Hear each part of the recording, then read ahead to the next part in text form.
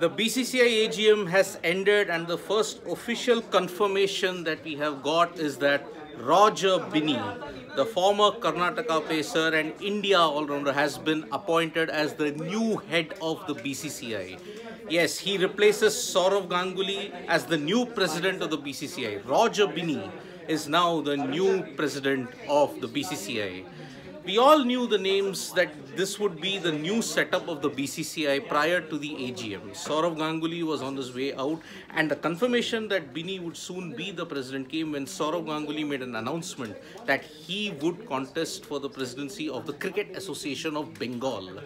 Jay Shah remains as the secretary but that official confirmation will soon come from the BCCI. Ashish Shelar from the Mumbai Cricket Association is the new treasurer and that official confirmation is also expected very shortly. But the one official confirmation that we have is that Roger Binny is the new president of the BCCI. He will head the BCCI and it comes at a very, very interesting time as to what is the new direction for the BCCI when it comes to cricket in India. Other major decisions that are expected to be taken is on the women's IPL and whether there will be any particular candidate sent for the ICC post. Remember, so far there has been no clarity yet on that. We all thought that Sourav Ganguly might head to the ICC earlier, which was reported.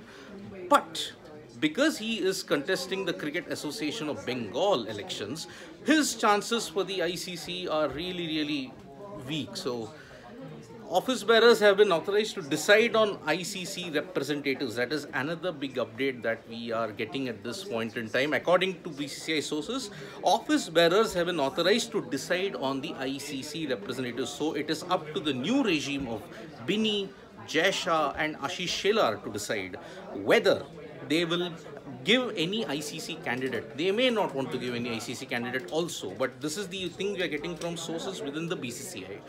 Now, as far as who will head the ICC, IPL Governing Council is concerned, it is widely reported that Arun Dhumal might head the IPL Governing Council. So that is also one of the main steps that this AGM has taken. The total rejig of the IPL Governing Council as well as a decision on the women's IPL all that we will get to know pretty shortly but the AGM has ended it was held at the Taj in Colaba and now we have the first official confirmation that Roger Binny is the new president of the BCCI. ICC representatives that will be decided by the office bearers that are there in the BCCI. Jay Shah remains the secretary and Ashish Shelar if it is widely reported and it, and will be pretty soon officially announced, Ashish Shelar could be the new treasurer of the BCCI. So thank you so much folks for joining us for this live. We'll be back with more updates from the BCCI AGM as well as other sporting activities. Press the like, comment and share button. We are also there on Facebook, Twitter and Instagram folks. Bye-bye.